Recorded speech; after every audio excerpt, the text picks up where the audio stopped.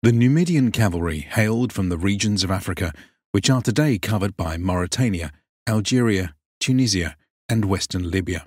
When it came time for military action, Numidian forces could deploy powerful coalition armies with a range of skirmishers, light infantry, cavalry, and even elephants.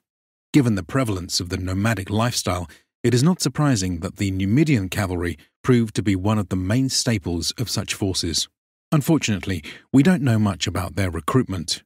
Warriors are reported to have rode into battle bareback without a saddle or bridle. Instead, these horsemen relied only on a small rope to control their mounts. For offense, their main weapons were throwing javelins, which they carried a large number of. In the lead up to battle, they would be sent ahead of the army for scouting. In battle, they acted as skirmishers, deployed in the front or flanks of the battle line. They would charge in to harass the enemy, loosing volleys before riding away.